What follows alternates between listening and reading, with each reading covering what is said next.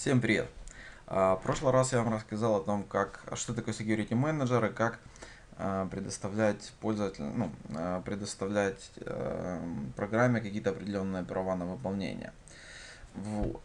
Сегодня мы научимся делать то же самое, но мы будем предоставлять права не просто там всем подряд, а именно определенным пользователям. И давайте начнем. Смотрите, если вы помните, у нас был вот такой вот код. Есть у нас э, мы проставляли System э, Java Security Policy, мы вставляли свои полисы какие-то туда. А, И также у нас там, ну, Security Manager мы запускали. Если вы помните, я вам рассказывал, что без Security Manager мы, в принципе, можем делать все подряд. Security Manager как, как бы запрещает нам делать все, кроме того, что мы разрешили. Вот, то есть, и если вы помните, у нас был такой файлик э, Java Policy стандартный, который идет, и тут какие-то там полисы нам э, предоставляет. Я, как и в прошлый раз, закомментировал вот эту полиси, то есть у меня нет возможности выводить вот эту вот переменную. Давайте я вам это продемонстрирую. Так, сейчас мы это скопируем. То есть, если я сейчас запущу, у меня, естественно, выпадет ошибка. Вот. А, Но теперь я хочу заидентифицироваться своим пользователем и э, ну, предоставить ему а, возможность запускать этот код.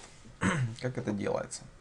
Ну, во-первых, а, в вот эту вот переменную myAppPolicy мне нужно добавить следующее разрешение. То есть, во-первых, мне нужно а, добавить aus permission 2. Первый do as privilege и второй create login context и дальше логин 1. Логин 1 это я вам чуть позже расскажу JAAS.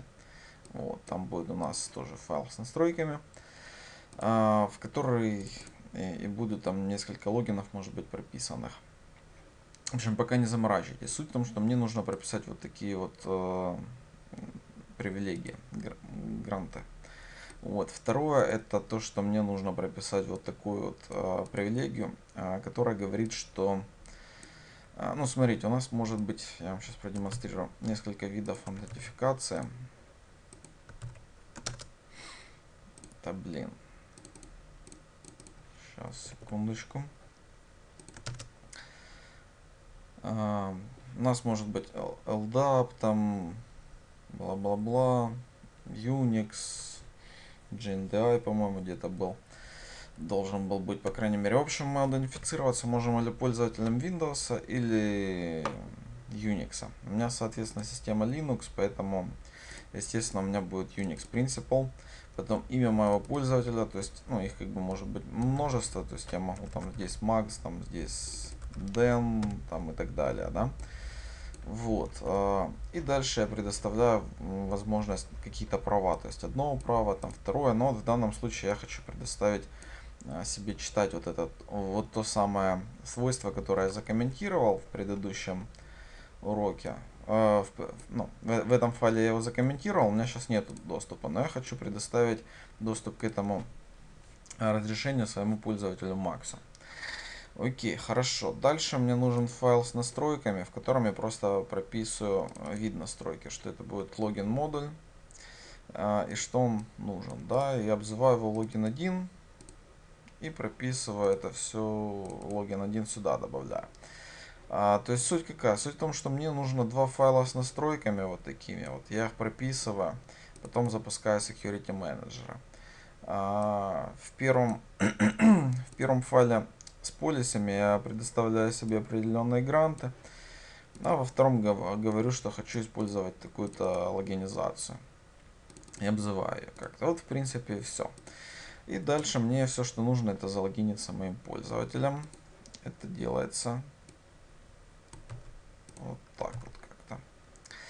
А, то есть, что здесь нужно? Здесь лог- логин контекст нужен, и потом нужен логин. Вот как только логин произошел, я уже здесь залогированный, то есть я уже получаю subject. Вот. а, И пользователь у меня аутентифицирован здесь. То есть, в принципе, если я сейчас запущу год, у меня просто выявится user is aus. То есть, мой пользователь Max, он был ав- авторизирован. И я, в принципе, могу выполнять определенные команды. Команда выполняется таким вот образом.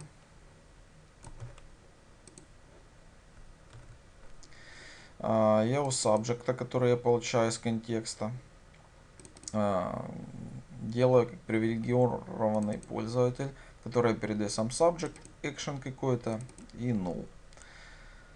Вот. А, последний это access control контекст. В общем, наш action это как раз тот самый объект, который, ну, тот самый экшен, который будет выполняться. То есть мне сюда непосредственно нужно добавить какой-то код. Так.